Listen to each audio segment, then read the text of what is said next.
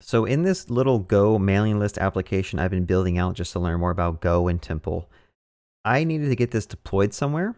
And one of the best ways you can deploy a Go application is to basically build your Go binary and throw that in a Docker container. And something I want to point out is that there's ways to make your container very small and optimized for basically pushing your containers up. It'll only take like a couple of megabytes of memory. And I want to walk you through my process of how I got that all set up. I think it's pretty interesting. So let's start with looking at the Docker file. Here's my project. The Docker file is using a Golang image. So on Docker Hub, you can use these Golang images that have all the necessary dependencies for running Golang and building your containers. And I'm using a multi-stage build here. So the first thing I'm doing is I'm bringing in this base image, which honestly, we probably don't even need to do. So let's just do a little bit of refactoring here. Boom. That's a little bit cleaner. And what we're doing is we're first of all, we're setting a default work directory to slash app. So when the container is building, like you have just a file system, and we're saying we want to scope all of the things we're installing and the files that we copy over into this slash app folder. Um, and that's later on, we'll have to like use that when we host our app. Why is this one indented? That's kind of weird. Okay, so over here we are installing a couple of things that I needed to get this working. So for example, uh, some build essentials, some Python. Now granted, I don't know if we truly need these things because I'm assuming some of these might be included in the Golang base, but uh, you know, it's like once you start adding stuff, you, it takes more time to go back and verify if you actually need it and uh, don't have all the time in the world, right? So the next thing we do is I'm installing Node. The reason I'm using Node in this project is because I am using Tailwind, the CLI tool to basically build and compile my Tailwind files so that I can output a public slash styles CSS that my project uses.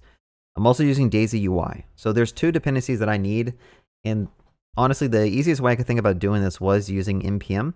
Now, granted, these scripts, these could probably live in my makefile instead of living inside of a package JSON if I wanted to simplify some stuff. But ultimately, I needed Node to install those two packages and then I need it to basically run the build process to compile all my Tailwind. I might spend some time to try to figure out a way to get rid of Node entirely, because I think that'll make this project a lot better. Um, but once I install those things, I also install the Templ CLI tool. That's used for compiling my Templ files. So like in my project, I have a bunch of Templ files. And when you save the file, it basically generates a Go Templ, which is just a bunch of ugly looking Go code. But this is kind of like a, a step you have to use when you're using Templ because you have to have Go code at the end of the day. Go doesn't know how to read these Templ files. Okay, so this is what the Templ CLI is for. And then we copy over the Go mod and the Go sum and the package lock and the package JSONs into the container that we're building up. We install all the packages with npm CI. Then we install all the Go packages with Go mod tidy. And then we copy everything over into this project here so that the container can actually like build it up. And then finally, we run make build. So here is where it gets a little bit interesting. We have a make file here, which is, uh, you know, what a lot of like C and C++ projects use, um, but I guess Go people like to use it as well. But it's kind of like Grunt or Gulp or any type of build tool where you have like all these aliases you can set up and you can call make space build or make space dev and that'll run whatever commands you have here. So in our case, we have a make build, which is going to build all those Tailwind styles. It's going to generate all of our Templ uh, Go files, and then it's going to build our Go executable. This is like the main takeaway I want to talk about in this video, where I had to turn on some flags here because I know what operating system I'm going to host this on, which is going to be Railway, which uses Linux.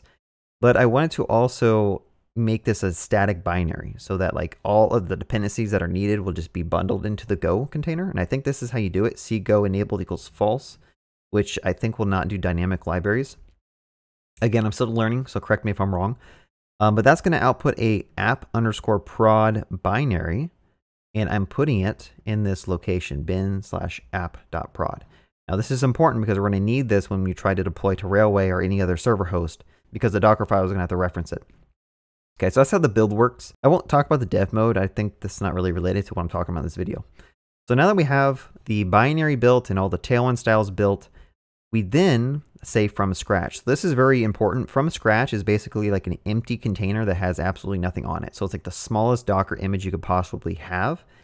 And then we start copying over files from the builder. So over here we have the builder, which we're like building up stuff and installing stuff and compiling the binaries.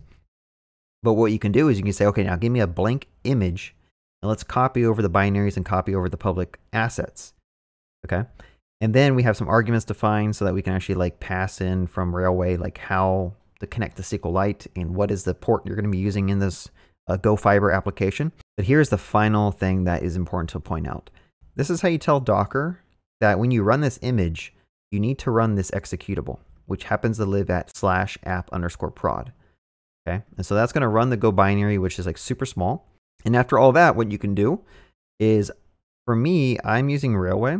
And so I have like this Railway project where I basically went over here, uh, linked to my GitHub repo. I clicked on Go mailing list. And then I went up and set up some environment variables. So we have like the database URL, the port, host name. So like when we send out an email and they unsubscribe from the email, we want to be able to let them know like where they should be redirected to. We have host name. Is this even used in our application? It is. So I think at the very bottom of the emails I send out, I have like an unsubscribe link. And we use this to know like what URL we have to redirect to. Sender email. This is like the email that we're going to be using from the from when you send out the email. Password. That is the password for logging into the site. Um, and then port, obviously. Now, now that I think about it, we don't even need these args because when I run in Railway, these environment variables will automatically just be exposed to the running service. So I don't need to do args there.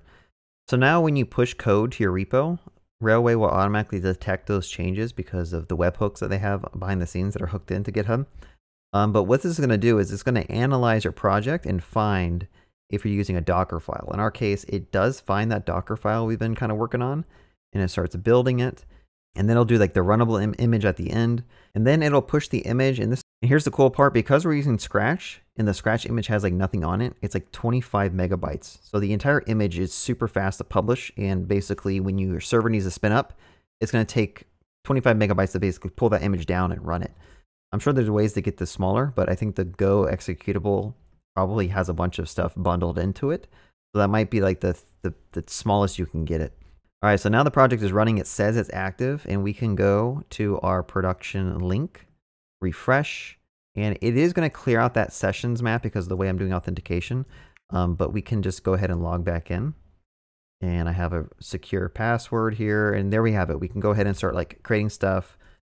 We can start adding emails, and then finally we can go and send out those emails. I do have to set up a secret key and an access token with AWS. I haven't done that yet.